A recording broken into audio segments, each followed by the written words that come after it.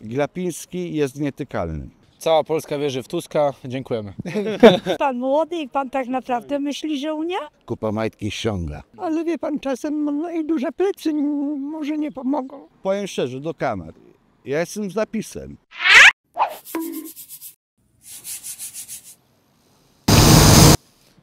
Na kalickich plantach y, czuć już y, wiosenną woń, a w polityce dalej smród. Także dzisiaj zapytamy o rozliczenie Adama Glapińskiego, rozliczenie wyborów y, kopertowych i przy okazji Jacka Sasina i komisję do spraw Pegasusa. Jaki będzie werdykt Kaliszan? Zapraszam do dzisiejszej sądy. Czy w końcu powinniśmy się wziąć za rozliczenie Sasina za wybory kopertowe i zdefraudowanie 70 milionów? Absolutnie tak.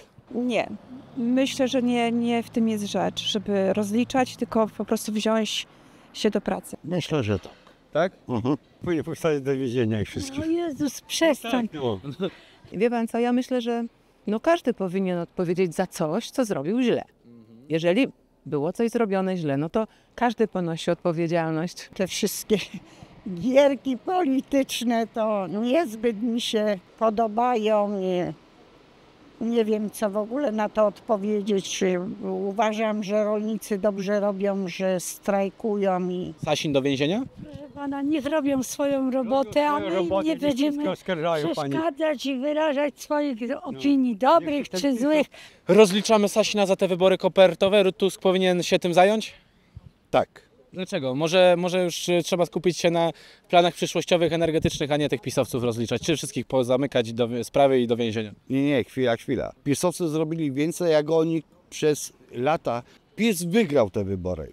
Kopertowo może był błędem, ale uwierzcie mi ludzie, nie będzie dobrze, bo to jest zemsta. nie no, koniecznie trzeba by, tylko czy to do tego dojdzie, to jest druga sprawa. Rząd ma się wycofać? Nie, obecny rząd to jest po prostu uratują Polskę, no. Tusk uratuje Polskę? A na pewno, że tak. Tylko te komisje mają stwarzać pozory tego, że coś się w tym kraju dzieje? No pewnie tak to wygląda, no niestety. Ale no może będzie, może będzie lepiej, wszystko się powyjaśnia. Pani, kto ze rolników? To burzy rolników? No, no. Unia chyba najbardziej teraz. O, no, no, no jest pan młody i pan tak naprawdę myśli, że Unia? Nie podoba mi się to, że pan uważa, że, że, że Unia burzy. Moja Unia jest pani, nam ale bardzo, niech pan bardzo spojrzy, wszystko na całe miasto, na drogi, na wszystko. Z czego to jest? A co by to było? Co by było? Pani, ja żyłem w Ale komunie, pan żyłem po komunie, przekonasz, żyłem przed komunią. Gdzie, gdzie podziały się pieniądze, za te 70 milionów na wybory kopertowe? E, szczerze mówiąc nie wiem, bo jestem Ukraińcem i nie tak bardzo s- patrzę na to wszystko, na politykę, ale to jest trudny temat na ten moment. Twoim celem jest zostanie w Polsce na dłużej, czy to jest jakiś e, punkt przejściowy i, i, gdzieś będziesz szukał dalej na zachodzie szczęścia? E, teraz już ukończyłem 18 lat i po środku lata to będzie jechać do Ukrainy walczyć za swój kraj. Serce tak mówię przez to, że mój ojciec walczy, dużo moich znajomych walczy, a ja jak nie wiem kto, został się tu i chowam się. A gdzie te pieniądze zniknęły, to trzeba to co, zaniechać to, tak? Znaczy wie pan, no, są jakieś komisje przecież prokuratury, ale ja uważam, że w pierwszej kolejności po prostu te obietnice, tak, wyborcze. Oni najlepiej wiedzą, co z tym zrobili. No coś się z nimi stało, no nie, bo przecież skoro nie ma, no to coś się musiało z nimi stać. Sasin e, powinien iść do więzienia? Jeżeli przekroczył y, prawo, tak. No mi się wydaje, że tak powinno być, ale nigdy tak nie jest, jak powinno. A czy słyszałeś coś może o opisie wcześniej, e, do, dobrego albo złego? Szczerze Marek. mówiąc e, nie, ale dużo oglądałem w TikToku, trochę słyszałem, ale nie bardzo. I co, bardziej ludzie chwalili czy ganili? W TikToku to był trudny temat, ale co wiedziałem to chwalili więcej. Chwalili. Tak. Według pana Adam Glapiński, szef Narodowego Banku Polskiego, powinien stanąć przed Trybunałem Stanów?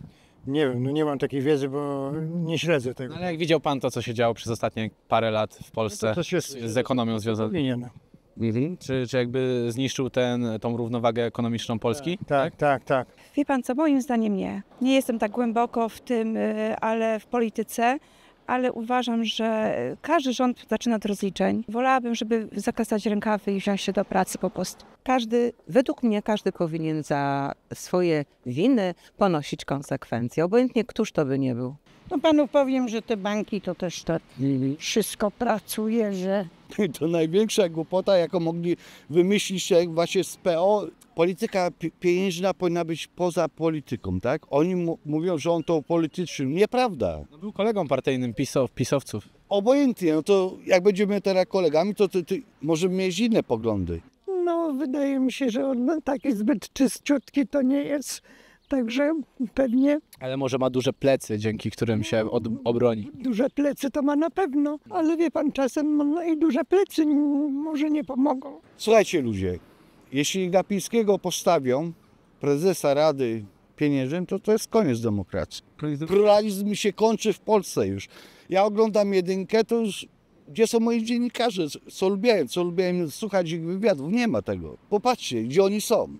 Podobno za Republice. Putina chyba. Ja jeszcze raz powiedziałem, Tusk nie jest dobrym premierem i nie będzie nigdy w życiu. No proszę pana, gdybym ja coś takiego zrobił, na pewno już dawno bym siedział.